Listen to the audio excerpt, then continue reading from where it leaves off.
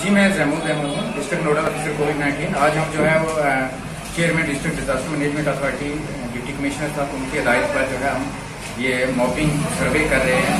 हम shop to shop जा रहे हैं होटल टू होटल हम जो भी एस्टेब्लिशमेंट है, उसको चेक कर रहे हैं। क्या वहाँ पर कोई आदमी तो नहीं है जो अंदर घुसा हुआ है और वैक्सीनेटेड नहीं है, वो फोर्टी फाइव है?